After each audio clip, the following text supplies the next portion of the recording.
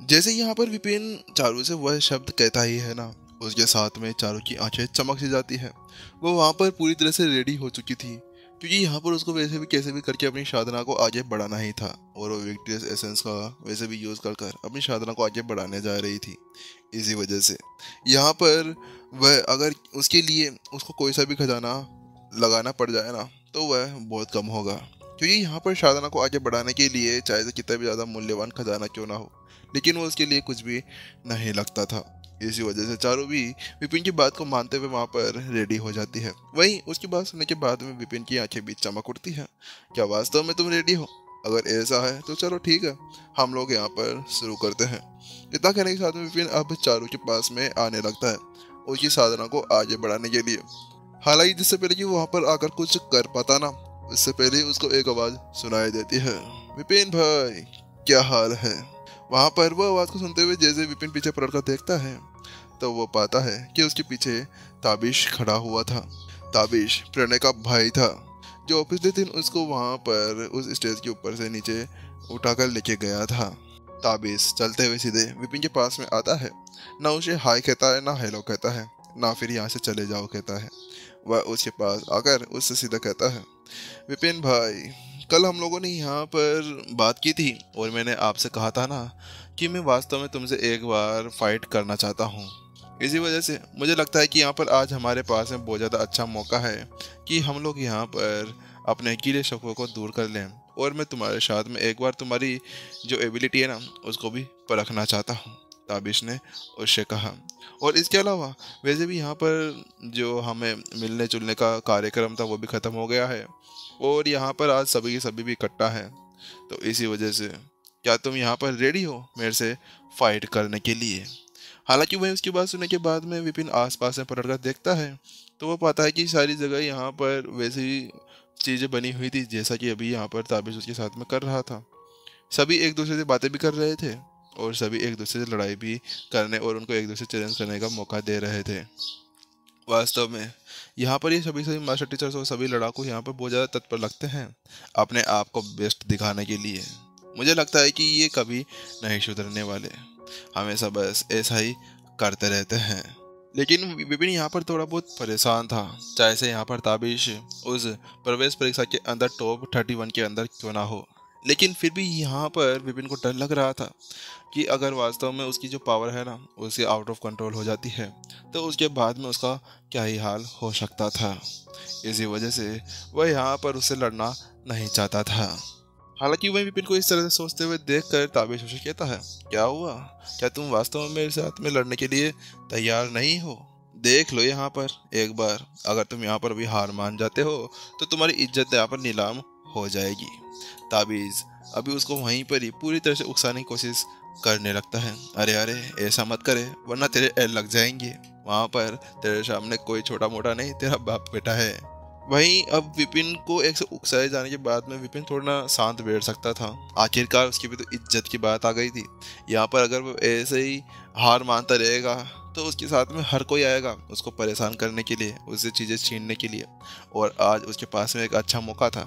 इसी के साथ में वह उससे कहता है, अरे अरे ताबिश भाई, क्या बात करते हो यार? अब यहाँ पर अगर इज़्ज़त के ऊपर बात आ ही गई है तो ठीक है, वैसे भी ये एक नॉर्मल सी लड़ाई ही तो है ना?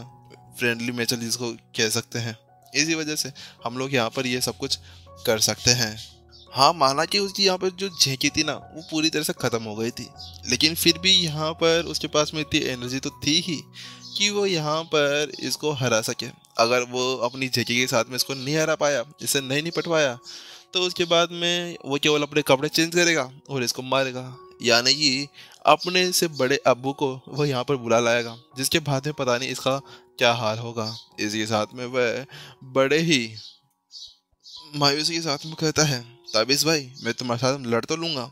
हालाँकि मेरे को तुम्हारी बहुत ज़्यादा चिंता हो रही है। मुझे नहीं लगता कि हमें यहाँ पर लड़ना चाहिए, क्योंकि जो मेरी पावर है ना कभी कभी आउट ऑफ़ कंट्रोल हो जाती है। और किसी को भी यहाँ पर लंगड़ा लूला या फिर उसके खजूर तोड़कर उसको अखरोट बना देती है, इसी वजह से। समझे? अगर तुम्हारे साथ में कुछ ऐसा हो जाता है तो मुझे डर है कि तुम यहाँ पर हमेशा के लिए एक नल्ले बनकर रह जाओगे। इसी वजह से मैं तुम्हें पहले ही बता देना चाहता हूँ। वास्तव विपिन का कहना भी सही था। अगर एक बार ये यहाँ पर इसे लड़वाने में सक्षम नहीं हो पाया तो उसके बाद में उसके पास और भी ज़्यादा चीज़ें थी इसे लड़ने के लिए।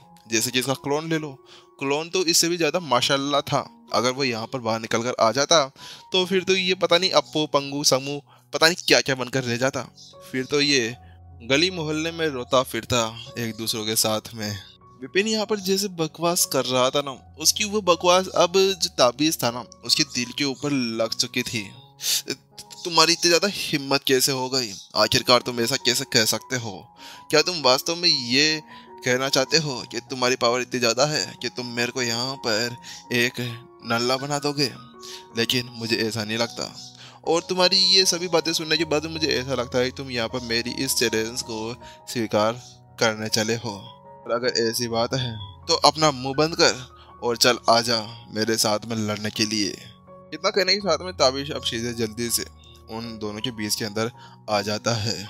जिससे पहले कि विपिन आगे बढ़ पाता, ताबिश को देखते हुए यहाँ पर अचानक से विपिन को एक आवाज़ सुनाई देती है। वह चारू की आवाज़ थी, जो टेलीपैथी द्वारा उसको समझाने की कोशिश कर रही थी। विपिन, आप ऐसा भी कैसे कर सकते हैं? आपकी तो पूरी पूरी झेंकी ही खत्म हो चुकी है ना? तो क्या आप वास्तव में यहाँ पर इससे लड़ने के लिए जा रहे हैं? तुम्हें कैसे पता कि मेरी यहाँ पर झेकी खत्म हो गई है? विपिन यहाँ पर चारू के उस तरह से बात करने की वजह से बहुत बुरी तरह से चौंक जाता है।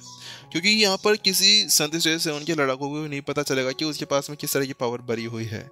लेकिन यहाँ पर उसने इस तरह से समझ लिया था। तो उसके साथ में, क्या वास्तव में इसकी आँखें भी बहुत ज़्यादा तेज है? हालाँकि वहीं विपिन की बात सुनने के बाद में चारू ने कहा, वो बात कुछ ऐसी कि आपने अभी थोड़ी देर पहले आपकी जो इक्विपमेंट्स है ना, उनको खोला हुआ था। और इसका साफ़ साफ़ मतलब ये था कि आप अभी अपनी एनर्जी को इकट्ठा कर रहे थे। और एनर्जी को इकट्ठा करना मतलब यह है कि आपके अंदर जो झेंकी है ना, वो पहले से बहुत बुरी तरह से ख़त्म हो चुकी है। इसी वजह से मैं आपको समझाना चाहती हूँ कि आप अभी इससे लड़ाई ना करें। आखिरकार चारू का कहना भी तो सही था, क्योंकि एक लड़ाकू की जो सबसे बड़ी नींव होती है ना वह उसकी शारीरिक शक्ति नहीं होती है, वह उसके साथ में उसकी झेंकी भी होती है। क्योंकि झेंकी के बिना वो कोई चीज़ यूज़ ही नहीं कर सकता था। अगर उसके पास में कोई ऐसी युद्ध टेक्निक आ गई, जिसको यूज़ करने में बहुत ज़्यादा एनर्जी लगती है तो उसके बाद में विपिन तो वहीं पर टुश हो जाएगा। जिससे पहले वहाँ पर ताबिज उसके ऊपर कोई वार करेगा। इसी वजह से यहाँ पर चारू को अभी विपिन की बहुत ज़्यादा चिंता भी हो रही थी। और चारू यहाँ पर यह नहीं चाहती थी कि यहाँ पर जो उनके प्रमुख के टीचर थे ना, वह यहाँ पर बहुत बुरी तरह से चोटिल हो जाए या उनको कोई चोट लग जाए, इसी वजह से वह यहाँ पर उसको समझाने की कोशिश करने लगती है। हाँ बात तो सही कही तुमने, लेकिन वास्तव में अभी तो मेरी सम्मान और प्रतिष्ठा की बात आ गई है। अगर यहाँ पर मैं उस चैलेंज को स्वीकार नहीं करता हूँ ना तो उसके बाद में क्या होगा कि यहाँ पर मैं तो किसी को मुँह दिखाने के लायक नहीं रहूँगा। विपिन तो अब उसको बोलने के बाद में मन ही मन के अंदर बड़बड़ाने लगता है। वास्तव में, अगर मैं ऐसी छवि यहाँ पर बनाऊँगा तो उसके बाद में मेरा क्या होगा? मैं आगे आने वाले टाइम में प्रिंसिपल बनूँगा, और प्रतिभा को पटाने का काम तो हो चुका है, लेकिन उसकी शादी करने का काम क्या होगा? उसके घर वालों को भी तो पटाना होगा ना?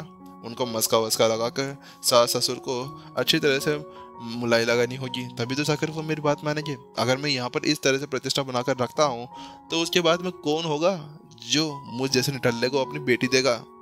और इसके अलावा यहाँ पर विपिन उससे लड़ने का एकमात्र कारण ये भी था कि वो बंदा भी शेन कबीले के अंदर से था। और वैसे भी विपिन को शेन कबीले से तो बहुत ही ज़्यादा चिड़ सी थी, क्योंकि आखिरकार उसकी राजकुमारी को वह उठाकर जो ले जाने वाले थे तो क्या वो वास्तव में अपनी गर्लफ्रेंड को किसी और के साथ भागने देगा? इसी वजह से। और उकसाए जाने के बाद में तो विपिन बिल्कुल भी नहीं रुकने वाला था। इसी वजह से। चाहे से वो उसको अपंग बनाते, उसको लूला लंगड़ा बनाते या फिर नल्ला बना दे लेकिन फिर भी वह आज इसको पीटे बिना तो नहीं छोड़ने वाला था। विपिन की बात सुन के बाद में चारू थोड़ी देर सोचती तो है, लेकिन उसको जो मन था ना, वो अभी तक मान नहीं रहा था। उसका मन अभी भी विपिन को समझाने की कोशिश करने लगता है। विपिन, मैं समझती हूँ, आप क्या कहने की कोशिश कर रहे हैं। हालाँकि फिर भी आप मेरी बात तो सुनी है। यहाँ पर अगर आप वास्तव में इस स्थिति के अंदर उसके साथ में लड़ने के लिए चले जाते हैं ना तो उसके बाद बहुत ज़्यादा बुरा हो सकता है। आप शायद ही यहाँ पर अपने पैरों के ऊपर खड़े होकर वापस आए। क्या पता मुझे आपको वहाँ पर खींच कर लेके आना पड़े। और इसके अलावा विपिन, मेरी बात मानिए, अगर आपको कुछ हो जाता है ना तो उसके बाद में मैं भी नहीं बचने वाली, क्योंकि आप हमारे प्रमुख के एक टीचर हैं। और अगर आपको कुछ हो गया ना तो उसके बाद में मेरे को ग्लेशियर रेन कोट वाले बिल्कुल भी नहीं छोड़ने वाले। वो तो मेरे को उठा उठा कर इधर उधर पहलेंगे इसी वजह से। कृपया प्लीज़ आप आगे नहीं जाएँ। हालाँकि जैसे चारू ने वह शब्द कहे थे ना तो विपिन की भी वो तन जाती है और वह भी सोच के अंदर पड़ जाता है। क्योंकि वास्तव में यहाँ पर अब ये बात बहुत ही बड़ी हो चुकी थी। अगर विपिन को यहाँ पर कुछ हो जाता है तो चारू को भी वहाँ पर बार नुकसान पहुँच सकता था।